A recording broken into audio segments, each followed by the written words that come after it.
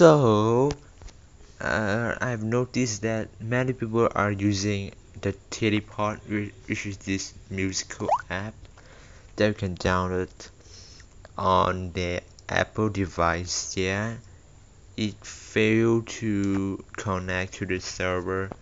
Yeah, uh, example like the online search is all rotten in invalid IP address. Now today I'm going to show you how to fix it but you need a Android device that support TTPOD.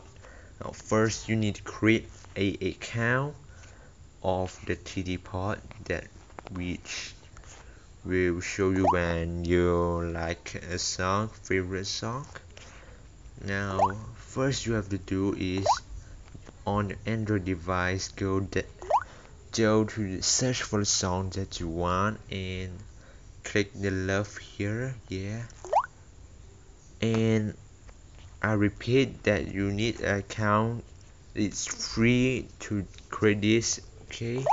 Now after you favorite it we on your favorite list here.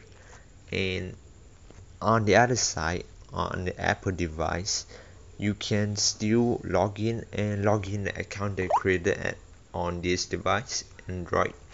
Now the, uh, the my favorite on the iPad device have this have the love on it's it's just like iCloud. The iCloud sync will help you to sing your song and you can download it with no problem at all.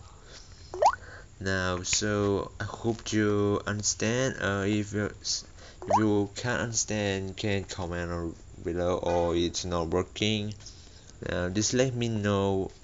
Okay now so thanks for watching. Subscribe and have a good night